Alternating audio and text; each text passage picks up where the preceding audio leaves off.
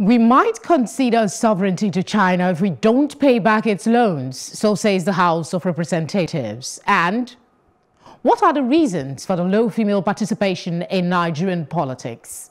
This is Plus Politics, and I am Felicity Ezewuike.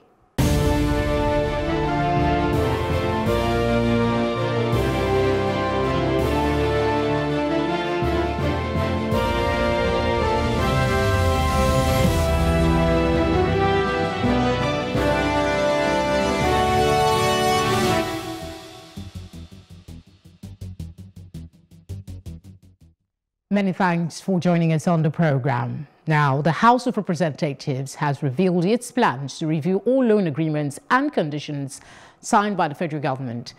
The House Committee on Treaties, Protocols and Agreements had recently begun an investigation into the loans taken by the country and had raised an alarm over loan agreements Nigeria signed with China, saying that the agreement might force Nigeria to concede its sovereignty to the Asian country if the loans were not paid back. However, the Minister of Transportation, Rotimi Amaechi, has advised lawmakers to stop the investigation into the Chinese loans, saying that the probe could send a wrong signal to China, which could stop the loans and disrupt the nation's rail projects.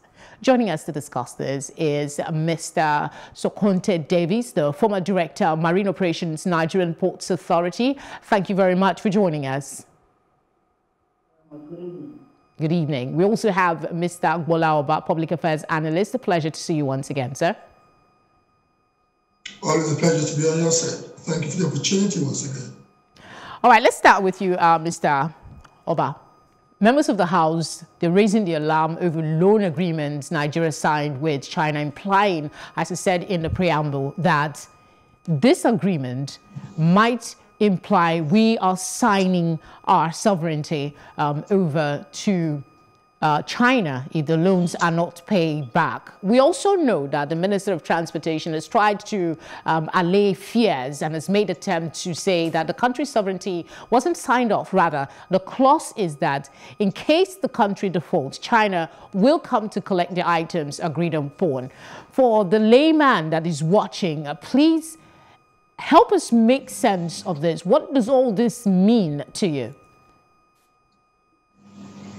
It means that all the agencies of government, or indeed the two arms of government in this respect, are working as they should work. It is incumbent on the parliament in a liberal democracy to make sure that treaties, agreements, and contracts entered into by the country is reviewed and the parliament in this instance, the committee of, of the House of Representatives is doing the right thing they should be doing. Review the contractual obligations and protocols entered into by the country. Now, having established the fact that the legislative arm or the committee of the legislative arm is doing what it ought to, it is also incumbent on a chieftain of the executive arm of government to make sure that it delivers on the portfolio of its principle.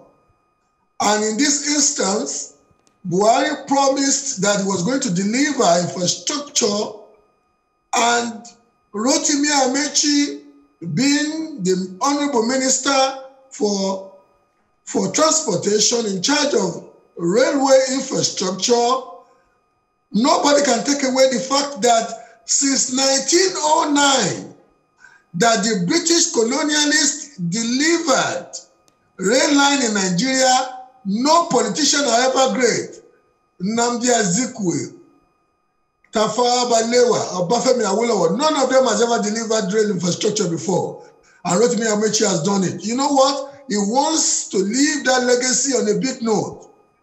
And wanting to do that on a big note is imploring Parliament, please, let us treat the let us treat the Chinese to perfect this contract And once the contract has commenced, Parliament, you can do your own bid. You must remember that Rotimi Amaechi was a parliamentarian and indeed the Speaker of the River State House of Assembly, and he knows the he knows the technicalities and the methodologies of, of, of using parliamentary powers to stymie or encourage such uh, such that is is engrossed in. Let so me interject. Thinking everybody is paying his own beat Mr. Oba, let me interject and bring in uh, Mr. Sokonte Davis uh, to uh, get his input as well. Riding off what Mr. Oba said, uh, the House of Representatives, the Senate, uh, the National Assembly now inclusive, um, don't they have a say in all the loans, uh, contract agreements that are signed? Don't they, that oversight function of reviewing this, have they failed in it now that they are investigating it? Isn't it medicine after that? Shouldn't they have done this due diligence before this situation situation came up? Contracts are not the responsibility of National Assembly.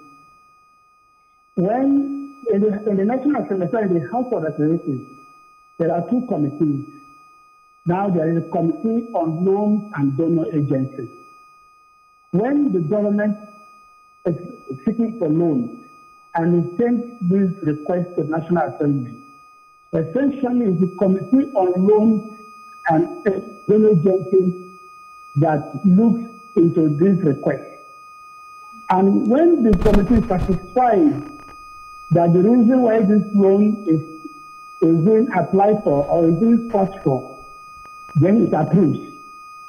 And that is it. The next thing is for the executive arm to go into agreements and agreements and transactions agreements and transactions are not within the purview of National Assembly. What the National Assembly does is that when the agreements and the transactions are entered and the projects are, are being implemented, the National Assembly now goes to oversight to see that if what is requested, it is what, what is being implemented. So I do not understand really. I was in the National Assembly for eight years as a member of the House of Representatives. I do not understand this issue of the National Assembly wanting to um, draft or participate in the drafting of agreements. Agreements are essential and totally the purview on the purview of the executive arm of government. All right. So Let that is yes. Um, thanks for the clarification. Uh, again, um, you did not say that they're, they are part of the vetting process, right? Let's get that out. They're part of the vetting process for these loans. I, I didn't get your question very well. No, yeah. I'm, I, I'm, I'm, I'm, asking a further clarification because I too had trouble getting all you said. Um, just to be clear, the National Assembly is part of the vetting pro, um, uh, process for such huge loans, right? For the approval of such huge loans. Okay, let's let's go. Okay, I'll come back to you, Mr. Davies. Just hang on, please. Let's see if the line will be better. Um, Mr. Oba, let's talk about the one that has been upsetting a lot of persons. Uh, Mr. Amaechi's claim that China will not approve Nigeria's request for the loan uh, to finance some rail projects um, if the House of Representatives continue uh, with the uh, probe uh, they're saying that if the, if the projects across the country will be affected if the National Assembly continues with an ongoing probe, they see it as an attempt to intimidate the legislature into abandoning its constitutional role. Others say it's a ploy to stop the National Assembly from revealing the corruption involving federal government in contracting some of this loan. What's your thinking on this? There are so many presumptions in that in that opinion, so many presumptions in that. But I need to go a little bit back to accentuate some points for the understanding of our viewers. You want to read the name of the committee of the National, of the House of Representatives again. Read the name of the committee again. Uh, the committee uh, is the that of uh, treaties, protocols, and agreements. Fantastic. Treaties, protocols, and agreements. In any liberal democracy worth its name in gold, the parliament or the legislature normally reviews treaties, protocols, and agreements entered into by the executive arm of government. You must remember that the executive arm of government is more like the, the foot soldiers, the foot soldiers of a liberal democracy. They go out, they explore opportunities, and they come back. Once they have explored and exploited, they come back, and Parliament will look at the methodologies with which they have, they have entered into agreement, and it is incumbent on Parliament to say, you know what, having reviewed this agreement, we have issues on this, on this, on this. Specifically in this instance, the House of Representatives Committee on Protocols, Treaties, and Agreements says it has issues with the fact that in the contract provision, there is eh, with the fact that in the contract there's a provision that is ceding, ceding a magnitude of the sovereignty of Nigeria. That is what they say they have problems with. However, I want to say emphatically here, and without, you know, without fear of contradiction, that when a nation goes a borrowing, automatically a part of your sovereignty, a sovereignty will be ceded away. They are just getting too, they're getting too academic about this. The truth is that a different thing. No, no, Mr. Mr. I can I can let you just um, gloss over that. I need you to explain for the layman listening, because when you say the sovereignty and integrity of a nation, you're talking about not just the government, but the people inclusive. No, two, hello, excuse me. The two are totally different. Don't confuse your viewers. Sovereignty, sovereignty is different from integrity. All right, let's focus when on sovereignty. as a human being, as a human being, sorry, my sister, I forgot your name now. Felicity. It ran off my head. M Melissa, when you walk into your bank and you take a loan, a part of your sovereignty as a human being, uh, you have ceded it. You know why? Because you will be subjected to a, a repayment regime. And once you default, once you default, a part of you will be taken you must remember that whatever you, you, you collateralize a facility with is actually a part of your life because you, you bought those things by your sweat and, and, and the earnings you got from having expended a part of your life to earn money. Let's be very honest with ourselves. When people sit and want to want to be too academic about when you go a borrowing, what does the proverb say? Those who go, he who goes a borrowing goes are sorrowing. So it, that, the concern of the National Assembly then is legitimate when they say that they are concerned about it. And then we have the minister explaining that it's just for defaulting. Who do we go with? For the ordinary man that's listening to this, it's getting a bit more confusing. Well, you go with common sense. And common sense says that when you take a facility and you have not defaulted, your sovereignty is intact.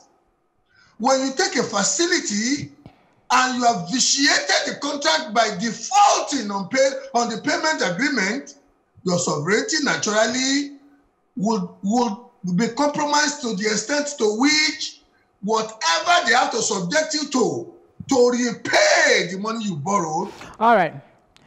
No, no, no country that goes a borrowing, no human being that goes a borrowing on the face of the earth has his or her sovereignty or okay. individual independence totally uh, intact anymore. That's All right, Mr. Oba. Uh, Amaechi is saying, Amaechi is making two points at this juncture.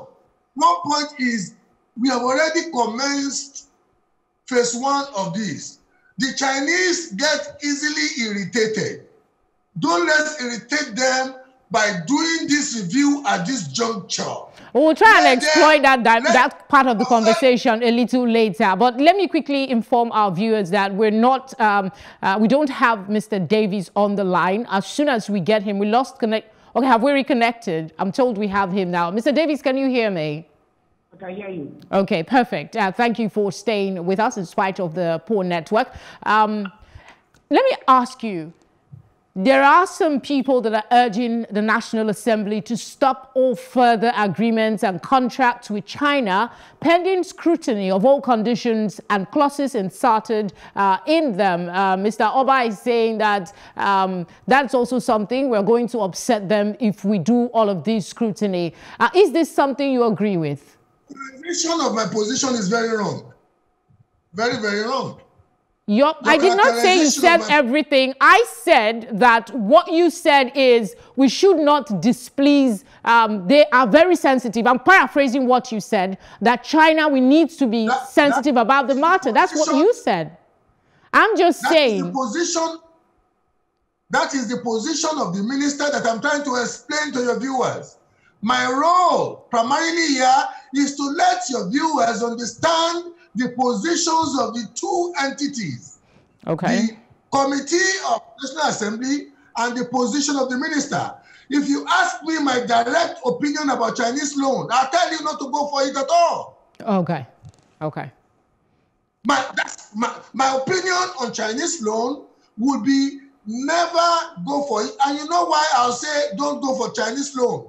When you go to a multinational institution like the IMF or the World Bank, or when you go to an Occidental uh, a country, like you say Western country, like United States of America, Britain, France, there are some cultural practices of transparency, accountability, not allowing for corruption in the perfection of the contract, which China has refused to subscribe to.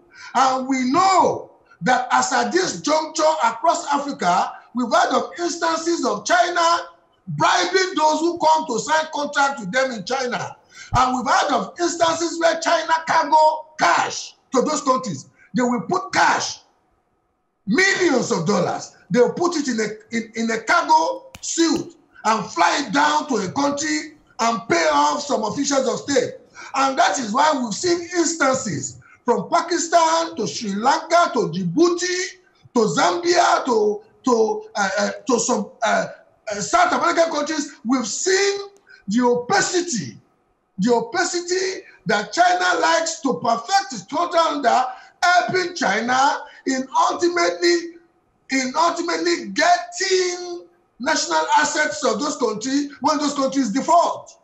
So if the Nigerian parliamentarians were to look at the, the inimical cultural practices of China, like they should make sure that they put they pass a legislation that says nobody should get loan from China in Nigeria. Well, how would we do some of this? I mean, one of the um, arguments pushed forward by the minister is the percentage uh, for the loan, uh, the interest rate that needs to be paid, and it's relatively low. Uh, we have this capital project that needs to be executed. What would be your suggestion? The only thing that is working against the minister at this juncture with Bola this is my opinion. Because all along, prior to coming to my opinion about China, I was explaining the positions of the committee and the posi- uh, and that of the minister. And I was telling you that ostensibly the two sides seemed to be playing to logic to me. Uh, but when, when I gave my position, I said they should not go for Chinese loan at all because Chinese loans are usually perfected in an atmosphere of opacity, in an atmosphere of darkness. And we have seen that usually that opacity helps some people in the countries that we have followed to uh, enrich themselves at the expense of the state. Now, it be us now on Amaechi and the government of President Muhammadu Buhari to say our pen, uh, uh, uh our price for taking this money would only be the percentage specified on the contract. All right, Mr. Because, Oba. Let me give you an example in the case of Lagos State. You, have Lagos to do that State, as quickly as possible, please. What did you say? I say if you could do that in 30 seconds so we can give some talk time to Mr. Davis. We have him back on the line. State claims to have spent X amount of money on the light rail from Marina to Kokomaiko. That X amount of money is 10 times the value declared by the Chinese company doing the construction in his book at the Hong Kong Stock Exchange. You see the contradiction? Lagos state government is officially claiming they have spent X amount of money. The company doing the construction, a Chinese company, is claiming in the in the Hong Kong Stock Exchange that the total value of the contract is X minus 10. All right. Uh, and uh, the same con- and the same type of contract that the, com- the company has done in Ethiopia and another country in Africa is more consistent with what they declared in the Hong Kong Stock Exchange. And Lagos right. State is claiming another Mr. amount. I'm afraid I have to interject now. Let's give uh, Mr. Um, uh, Davies some talk time. The network hasn't been really um, good from his end. Uh, Mr. Davies, um, can you hear me? Do we have Mr. Davis again?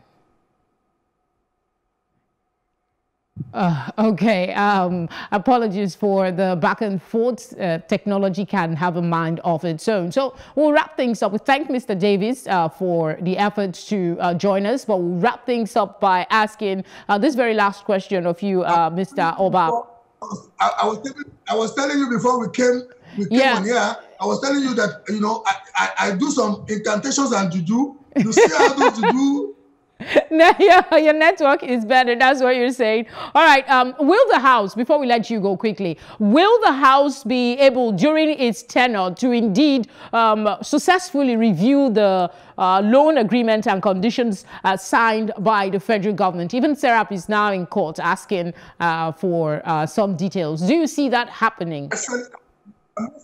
I must use this opportunity to celebrate Serap for wanting to bring the government to accountability by letting the government own up on what exactly is our commitment thus far contractually to China on all the monies borrowed from China. That's wonderful. And I must say too that it is the responsibility of parliament. Indeed, the powers of parliament, if they're not comfortable with how the facilities from China, how those facilities are gotten, how those facilities are managed, it is within the powers of parliament to even legislate that Nigeria must not borrow from China anymore. All right, Mr. Agboola Oba. Thank you very much. Thank you very much for always bringing some new perspective to the conversation. It's appreciated. Thank you. Thank you. Thank you very much for the opportunity. All right, we'll take our plus report now. And when we return, as the gubernatorial elections um, in Edo and Ondo states draw closer, we ask, would women be given a chance to govern this time around? That's our conversation after this break.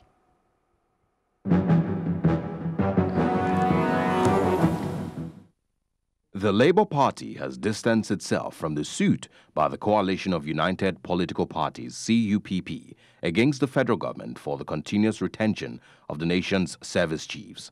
The national chairman of the party, Abdulsalam Abubakar, while speaking to newsmen in Abuja, said that the party, which is a member of the CUPP, does not in any way support the suit because it does not reflect the position of every member of the coalition. I have been forced to address the press, the, press conference by the recent media controversy, as well as the action taken by an individual to sue service chief in the name of CUPP. I want to state categorically, as a formidable stakeholders in CUPP, that I am against the action of suing the federal government on the issue of the continuous stay of the service chiefs. Let me also state that I, I, I, I and Labour Party do not support the federal government's decision to continue to ret retain the services in the face of rising insecurity in the northeast and other parts of the country. But we will not also allow ourselves to be, to be caged